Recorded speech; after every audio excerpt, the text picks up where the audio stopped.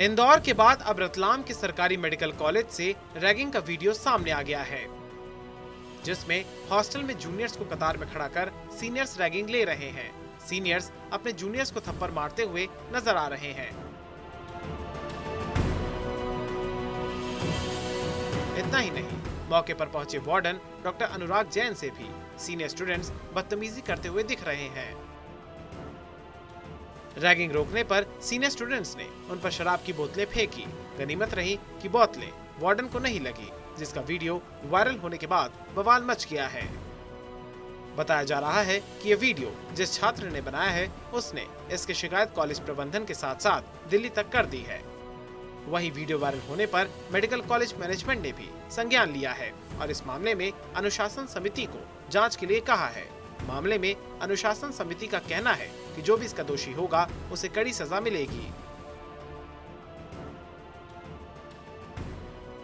पूरे मामले पर कॉलेज के प्रोफेसर और फिजियोलॉजी के हेड डॉक्टर जगदीश ने बताया कि 28 तारीख को मेल मिला था। जो बच्चे इसमें दोषी पाए गए हैं, उनके खिलाफ सख्त कार्रवाई के लिए कहा गया है। कमेटी ने रिक्वेस्ट की है कि दोषी बच्चों को हॉस्टल से हमेशा के लिए निष्कासित कर दिया जाए। इसके अलावा सभी छात्रों को छह महीने के लिए सस्पेंड किया जाए। पुलिस कार्रवाई के लिए भी हम सोच रहे हैं। दो महीने पहले भी एक कंप्लेन आई थी। बच्चों ने मामले में मेल में बताया कि उनके साथ मारपीट और डराने धमकाने की घटनाएँ होती हैं। हमारे कानून की परिधि में भी आता है कि रैगिंग पूरी तरह से बैन है। रैगिंग कहीं भी किसी भी तरह से स्वीकार्य नहीं है। मैंने कहा कि उस पूरे की जाँच करके क्योंकि वीडियो केवल घटना को प्रदर्शित नहीं करता यदि इस तरह की कहीं भी घटना हुई है तो वो स्वीकार योग्य नहीं है और निश्चित रूप से कार्रवाई की जाएगी। देखिए मैं दो बातें कहना चाहता हूँ कि मेरे मेरे आने के बाद मैंने लगातार ये प्रयास किया कि यूनिवर्सिटी की वर्किंग हम सुचारू करें। ये बात सही है कि व्यवस्थाएँ ठीक नहीं थी इसीलिए हमने वीसी को भी हटाया।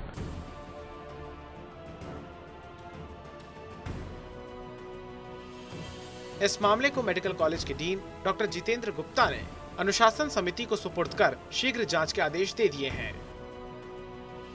वीडियो के वायरल होने के बाद दिन भर सीनियर और जूनियर स्टूडेंट्स के साथ पूछताछ की गई और घटनास्थल को देखा गया। अब स्टूडेंट्स के बयान लिए जाएँगे। बाद में दोषियों के खिलाफ कार्रवाई की जाएगी।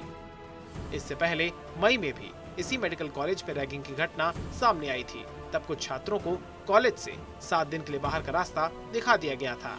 अब देखना होगा कि ऐसी घटनाओं पर कब तक लगाम लगेगी।